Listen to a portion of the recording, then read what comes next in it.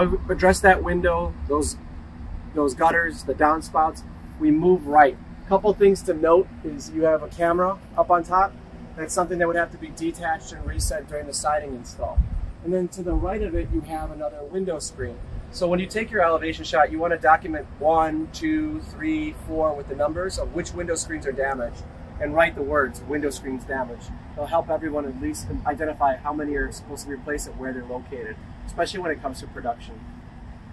Keep moving, moving right. There is no screen. If you don't see a screen and you see screens everywhere else, I always recommend asking the homeowner if that screen blew out or if there's a reason it's not there. Sometimes it got damaged and they just look really petty or bad, so they take it out. Make sure you take pictures of that. You keep moving right. Here again, you have another camera, detach and reset for a security camera. You have a light fixture, so it's detach and reset light fixture, detach and reset underneath it, the J block. Underneath here, you're gonna wanna document all these pictures showing where this stuff is located. The outlet, which is gonna be a detach and reset electrical outlet, and then again, detach and reset light block. We keep moving right. Now, a lot of times you'll find aluminum trim around, unlike this house, you'll find aluminum trim around the windows and doors. You're gonna to wanna to highlight any damages you find on it. When you look at a door or a window, some telltale signs that there's damage is at the bottom of the window uh, of the vinyl against the, or wood against the, uh, or cladding against the actual glass. You'll see divots and dents in here. Um, they would actually owe to either reclad or replace the actual item. So if you have uh, Pella, Pella doesn't have replacement parts. You would have to replace the entire door. If You have Anderson, Uh, fortunately for the homeowners, they have replacement parts and they would owe only for what's actually damaged, as long as the parts are readily available or still available. We're to keep going right. A couple other things to note, like I'm already noticing some issues here. If you look at the table, the table has damage. Again, if you're doing this as a contractor, you're doing it to show that there was actually a storm here, but um, who's to say that the paint didn't get chipped off from a hailstorm? And these are some things that we're addressing right now that we'll have to put in on the back end supplement. There's about seven different places where I see the paint's already uh, pulling away. Um, again, it shows that there was an actual storm. It shows the severity of it. Same with the grill and the grill cover.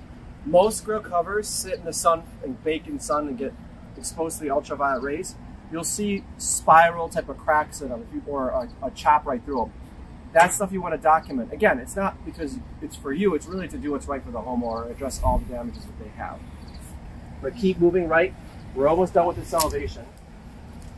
Again, another screen. Screen right above, you want to document from further away, up close, further away, up close. Right here, you have another damage from hail on the actual siding. You're going to document where it's at, take a close-up picture. And then you have, so there's two different ways this is installed. A lot of times you'll see that the uh, spigot, it's a faucet spigot, is installed in through the siding that's just got a hole and it's actually attached to it. The carrier owes to detach and reset the uh, faucet spigot. Um, and sometimes there's actually a block behind it. They actually owe for that as well, if it's there. If it's not there, they don't owe for any improvements beyond what's currently existing.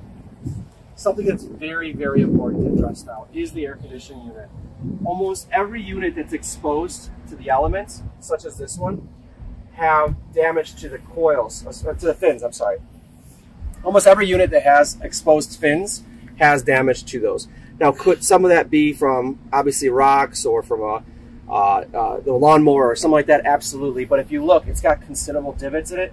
What I would recommend doing, I don't have my tape measure next to it, but I would put tape measure next to it to document how big the hail was against those fins.